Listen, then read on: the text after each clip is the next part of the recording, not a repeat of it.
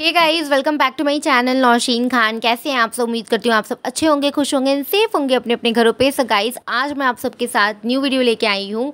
आज मैं मैं आपके साथ शेयर करूँगी Lakme nine to five C C light move foundation का शेड गाइड येस गाइज़ आज मैं आप सबके साथ शेड गाइड शेयर करूँगी। ये newly launch Lakme nine to five C C light move foundation का।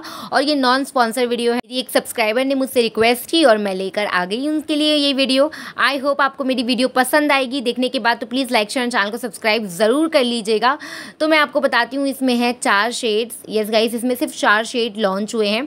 तो आज इन चारों शेड का मैं आपको शेड गाइड दूँगी। आई होप आपको वीडियो पसंद आएगी तो एंड तक ज़रूर देखिएगा। तो चलिए without any wasting of time video start करते हैं। तो आइए देखते हैं कौन सा है आपका शेड सो गाइज़ हमारा जो फ़र्स्ट शेड है, वो है बेज बेज जो शेड है, वो very fair skin plus yellow undertone अगर आपकी बहुत ज़्यादा वाइट फेयर स्किन है तो आपको ये शेड लेना है।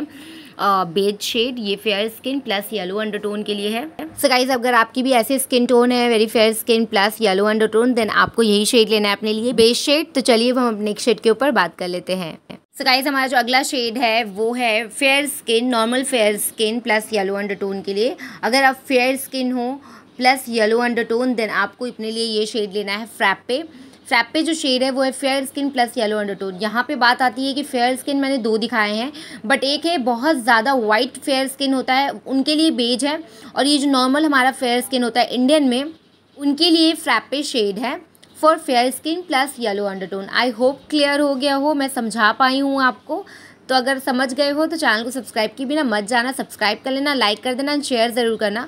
तो चलिए हम नेक्स्ट शेड के ऊपर बात कर लेते हैं। सो so हमारा जो नेक्स्ट शेड है वो है light skin plus yellow undertone के लिए। अगर आपकी लाइट स्किन टोन है और आपका अंडरटोन येलो है देन आपको जो शेड लेना है वो है ब्रॉन्ज सबसे पहले मैं आपको एक और चीज़ क्लियर करूँ, इसमें चार शेड्स हैं और इसमें ना मीडियम स्किन टोन के लिए कोई शेड बनाया नहीं गया है।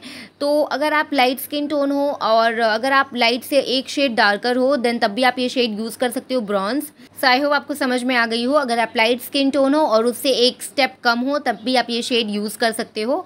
और इसमें ना शेड रेंज बहुत कम है तो बहुत दिक्कत होगा। आई होप इन लोगों ने जल्दी और शेड्स लॉन्च करे। तो चलिए हम लास्ट शेड के ऊपर बात कर लेते हैं। सो so गाइज़ हमारा जो लास्ट शेड है, वो है medium dusky plus yellow undertone के लिए। अगर आप मीडियम डस्की स्किन टोन हो और आपका अंडरटोन येलो है देन आपको ये शेड लेना है आलमंड आलमंड जो शेड है, वो है medium dusky plus yellow undertone के लिए। मैं एक और बात बोलूँ, इसमें जो सारे शेड्स हैं ना, वो सारी येलो अंडरटोन को ध्यान में रख के बनाया गया है। तो आई होप और भी अंडरटोन्स को ध्यान में रख के भी फाउंडेशन बनाए। तो ये मूज फाउंडेशन है, इसका रिव्यू चाहिए तो कमेंट करना। एंड आई होप आपको पसंद आई होगी वीडियो तो लाइक शेयर चैनल को सब्सक्राइब करना। मिलते हैं नेक्स्ट वीडियो में। बाय